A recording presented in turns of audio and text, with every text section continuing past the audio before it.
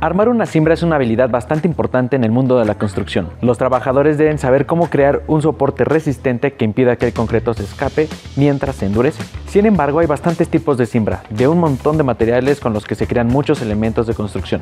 Por esta razón te vamos a enseñar cómo hacer una cimbra para losa de concreto nivel principiante. Antes de pasar al video, recuerda suscribirte al canal de Max Acero Monterrey. Es tan solo un clic. Ahora sí, vamos con el video. ¿Qué es una cimbra? No dudamos que ya lo sepas, pero no está de más repasar brevemente el tema. Así que, ¿qué es una cimbra? Es una estructura auxiliar temporal que nos ayudará a sostener el peso y mantener la forma del colado de concreto mientras ocurre el proceso de endurecimiento o fraguado del mismo. Dicho de otra forma, la cimbra es un molde que se crea en el sitio de obra que ayuda a que los elementos estructurales funcionen como una sola pieza, mejorando así su resistencia y durabilidad. ¿Cuáles son sus partes y para qué sirven? Anota porque las partes que forman una cimbra son muchas y cada una tiene su función. En ocasiones no necesitarás todas y cada una de ellas, pero es mejor que las conozcas. Madrinas. De manera sencilla, son las vigas principales que recibirán todo el peso de las demás. Largueros. Son vigas que se colocan sobre las madrinas, en sentido transversal y recibirán el peso de la losa. Maderas de contacto. Por lo regular son tablas, estas se encargan de mantener la forma del concreto y trasladar el peso al resto de la cimbra. Se colocan sobre los largueros. Tablas de encofrado. Se clavan en las orillas de las tablas de contacto y sirven para realizar el cerramiento de la cimbra por sus laterales, evitando que el concreto se derrame.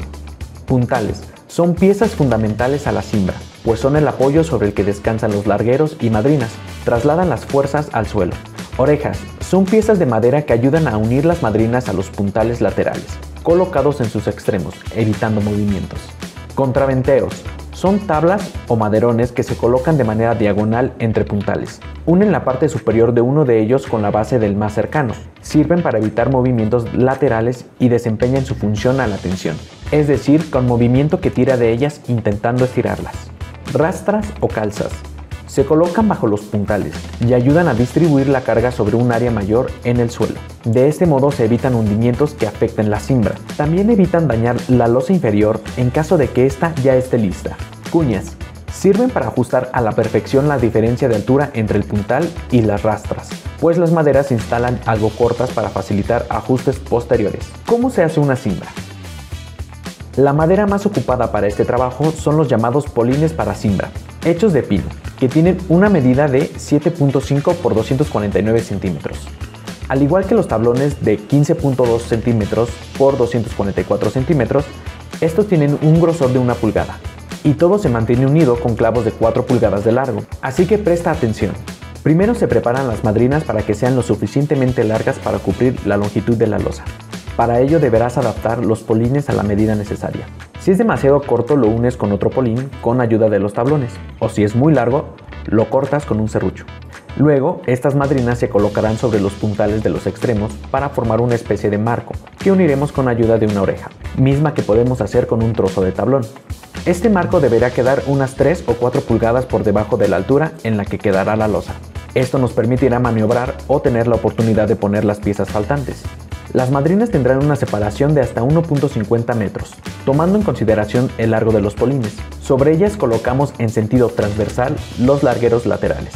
Bajo las madrinas ponemos el resto de los puntales, que deberán tener una separación de entre 1 y 1.50 metros.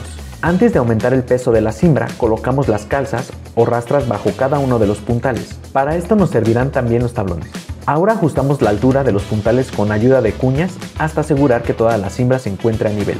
Después procedemos a colocar la madera de contacto sobre la que recaerá directamente el concreto. Para eso utilizamos los tablones, mismos que procuraremos colocar lo más juntos que sea posible.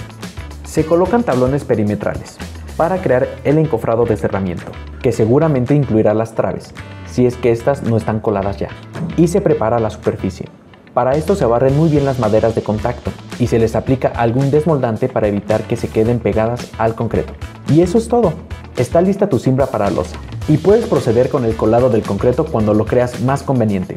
Más adelante y con algo más de experiencia podrás adaptar el cimbrado para considerar cubos de escaleras, dobles alturas, incluir traves o mucho más. Mientras tanto, esta es la cimbra a nivel principiante para habitaciones de tamaño promedio. Y es así como llegamos casi al final de este video, pero todavía no te vayas. pues queremos recordarte que en Max Acero Monterrey encontrarás otros videos sobre los distintos tipos de cimbra o cómo preparar la mezcla de concreto necesaria. Te dejamos los enlaces en la descripción. Solicita una cotización gratuita del cemento y el acero de refuerzo necesarios para la losa, llamando al 55 58 88 54 54 o también puedes consultar más información en nuestro sitio web maxacero.com.